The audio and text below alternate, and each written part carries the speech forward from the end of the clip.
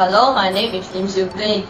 I am 11 years old. I learn robotics at Robotland to my botanic product. This is my robot. Uh, I call it ping pong dispenser. I built it so I can play ping pong ball with myself every day. Just someone to put the ping pong, put the ping pong ball for me. This robot uses two motor. This motor will operate all the time when this thing is activated. This motor will depend on this sensor here, the IR sensor also. When the, when the, when the ball goes through the sensor, this thing will go up to dispense it. This motor has two users.